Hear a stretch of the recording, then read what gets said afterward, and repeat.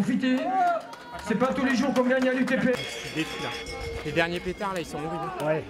C'était la première fois que je faisais une telle distance donc euh, j'ai été prudent en début de course et après euh, c'est vrai qu'à partir du Puy-Marie je me suis dit bon je vais prendre quelques risques. J'avais le cardio fréquence mètre, j'ai surveillé les pulsations et voilà j'ai essayé de gérer au mieux euh, voilà, pour pas pour pas exploser en fin de en fin de circuit. J'avais pas du tout, j'avais pas eu le temps ni de regarder le parcours ni quoi que ce soit.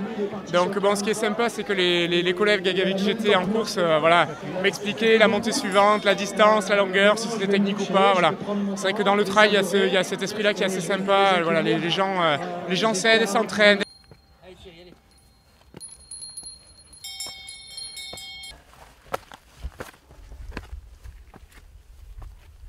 Merci beaucoup. Allez, bon courage. Et elle va venir, est-ce qu'il y a des trucs là On sort du Puy-Marie et puis là on va attaquer sur Mandaille. Et puis il reste à peu près une quarantaine de kilomètres jusqu'à la fin. Donc euh, les cuisses commencent à être un peu lourdes. Donc on va serrer les dents et puis euh, essayer de passer la ligne. Allez, va aller.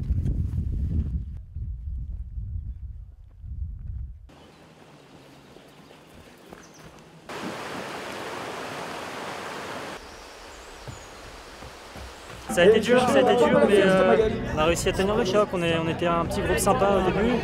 On discutait bien ensemble, tout le monde a temporisé un peu pour, euh, pour pas partir tout seul devant et, et avoir une course difficile. C'est toujours mieux de courir à plusieurs.